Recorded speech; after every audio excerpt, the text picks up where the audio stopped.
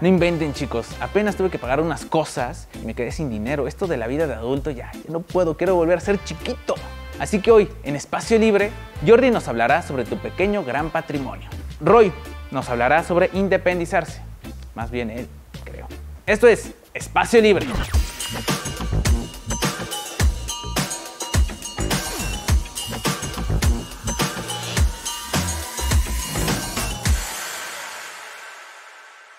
Yo soy Avi Carro, apasionada por estrategias y marketing digital. Durante la crisis del COVID-19, muchas pymes vieron que las redes sociales eran una salvación. Estar en momentos difíciles y estar bien hizo que ganaran muchos clientes y que actualmente sigan consumiendo sus productos o servicios. Estar en algunas redes sociales como Instagram, Facebook, TikTok, Twitter, por algunas por mencionar, es una manera de abrir un canal de comunicación con nuevos prospectos y clientes ideales que nos permiten vender más y crear una comunidad. Y lo mejor de todo es que es prácticamente gratis si sabemos aprovechar oportunidad y de manera de comunicar de cada red social. Observemos el último año. ¿Cuántas veces has utilizado Instagram para ver la comida de un restaurante al que quieres visitar. ¿En cuántas ocasiones has buscado en Facebook para ver a qué hora abre tu, gimnasio? O bien, ¿cuántas veces has utilizado TikTok para divertirte y al mismo tiempo consumir un anuncio de manera orgánica, indirecta y aportándote valor a ti de alguna marca? Vaya que utilizando redes sociales a nuestro favor, el mundo sería nuestro, ¿o no? Como acabo de contarte, como emprendedor, no puedes permitirte no utilizar un canal directo con tus clientes antes, si queríamos contarles algo, teníamos que ponerlo en anuncio de periódico radio. Hoy en día lo podemos comunicar directamente con nuestros clientes. Ahora la mayoría agarra su celular, abre alguna red social y aquí estamos diciendo de lo que queremos ofrecer. Lo mejor de todo es que son ellos los que nos buscan y nos piden contenido. Quieren consumir nuestro producto, pero primero quieren verlo, aprender más y creer que realmente es la mejor opción. Y lo mejor, si les gusta, pueden compartirlo en sus redes sociales para que ellos también puedan comprarlo. Y esto le llamo comunidad fiel y orgánica. Y para terminar, te voy a hablar de siete beneficios clave. La primera, fundamental y prioritaria. Y es que puedes crear marca, que sepan que tu empresa existe. Dos, difusión, el impacto que puedes crear para que tu negocio eh, eh, sea enorme. Además, es una forma excelente y confiable de atraer más tráfico a tus redes sociales. 3. Rapidez. Está claro que el mundo online si tiene una ventaja particular es su velocidad. No es necesario esperar hasta el día siguiente porque puedes proporcionar información, promocionar y hasta vender de manera instantánea. Modernidad. Lo primero que en un cliente potencial puedes, puede hacer hoy en, en, día es buscarte en redes sociales. Esta no es la primera razón número uno, pero por supuesto que es muy importante y es que tengamos una imagen exterior. Una empresa sin una red social indica que no se preocupa por sus clientes o que bien no está adaptada a lo que vivimos. Alcance. De entrada, debes saber que somos cerca de 4.700 millones de personas las que ocupamos directamente el Internet. Unos se conectan para trabajar, otros para estudiar y otros por entretenimiento, pero la mayoría se conecta a las redes sociales. Comunidad. Podrás crear una comunidad en la que también puedas hacer llegar determinadas ofertas o bien que tus clientes se sientan identificados con tu marca. Conectar. La comunicación con los clientes jamás fue tan sencilla. Ahora puedes conocer sus inquietudes y recibir sus agradecimientos por, por sus servicios o productos en particular a través de comentarios o chat de manera instantánea en cualquier momento del día, sabiendo que a los, lo, que, lo, que, lo que los está leyendo de manera en la que tú y ellos están en cercanía. Y como punto extra, además, si de promocionar tus productos o servicios hablamos, las redes sociales permiten usar poderosas herramientas para segmentar y publicar a tus empresas entre personas con mayor, mayor intención y probabilidad de comprar tus productos o servicios. Me despido con una excelente frase del cofundador y CEO de HubSpot. Hace 10 años la efectividad del marketing dependía del peso de tu cartera. Hoy en día la efectividad del marketing depende del tamaño de tu cerebro. Así que no tengas miedo a iniciar con tus redes sociales para tu empresa. Con creatividad y estrategia los resultados se verán.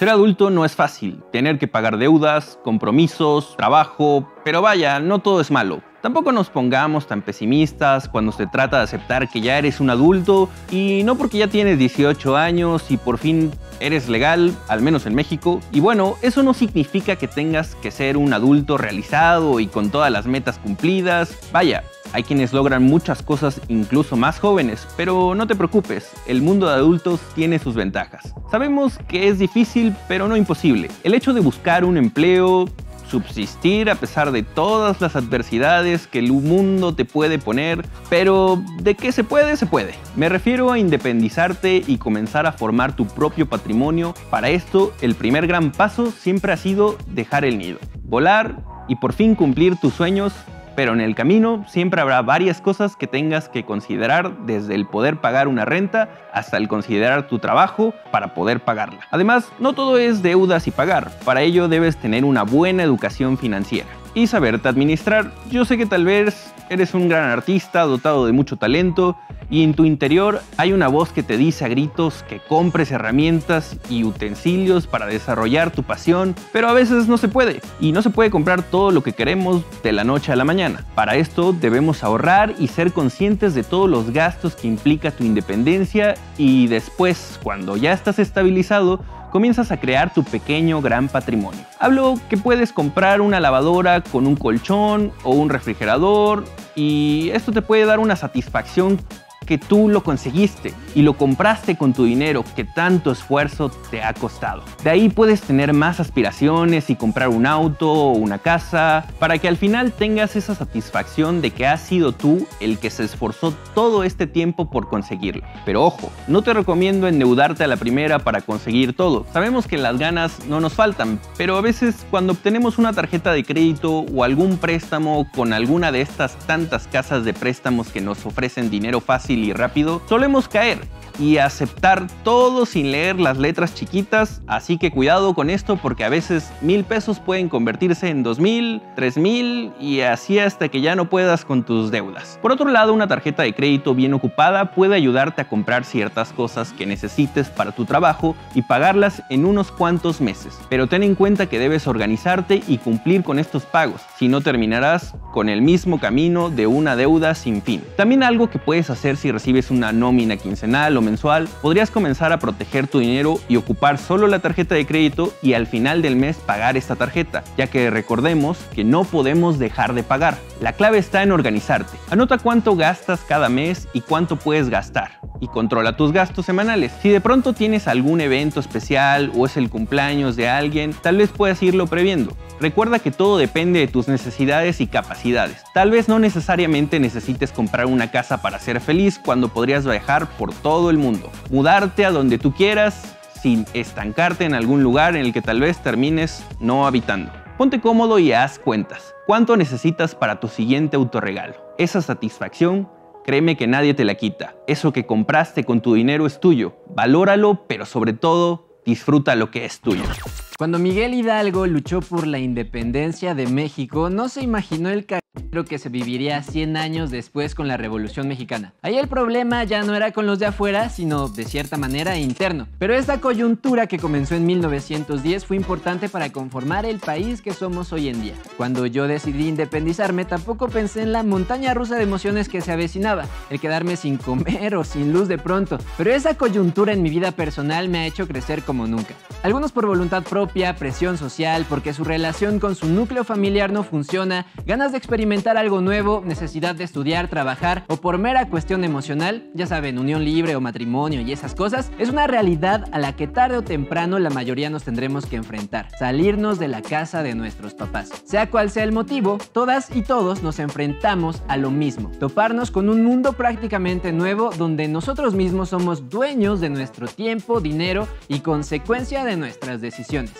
¿Pero es tan fácil? No. Debes considerar muchas cosas. Si vas a estar sola o solo. Si no es así, ¿quiénes van a ser tus roomies? Si es que la opción no da para rentar solo, debes establecer acuerdos con los cohabitantes sobre limpieza, cuestiones de seguridad, uso de espacios, etc. También es vital la elección del lugar donde te vas a instalar. ¿Es un nuevo estado? ¿En la misma ciudad? ¿Por qué zona? ¿Queda cerca de tu trabajo? ¿Hay buena movilidad? ¿Es seguro? Tampoco olvides considerar el presupuesto destinado para la renta. Los expertos recomiendan que no sea más del 25% de tu ingreso mensual, pero por mi experiencia personal recomendaría que no fuera más del 20% y contemplar un 10 o 15% para los servicios. Hablando de dinero, alguna vez alguien me dijo, yo preferiría gastar eso que pagas de renta en otra cosa. Y es un pensamiento que constantemente me da vueltas, pero si lo queremos ver de una forma romántica, el independizarse es una inversión en uno mismo. En el tiempo que llevo viviendo por mi cuenta, he aprendido de lo que soy capaz de hacer, de mis puntos a mejorar, me ha mostrado que aptitudes que no me imaginaba, he trabajado en aspectos que no me gustan y una lista enorme de cosas que me han formado. Sin duda, el salir de mi zona de confort y verme de cara frente a una situación incómoda, por ponerle nombre, donde las cosas no se solucionan pidiendo y estirando la mano, sino trabajando y resolviendo al momento, a veces hasta improvisando, ha sido de lo mejor que me ha pasado. A final de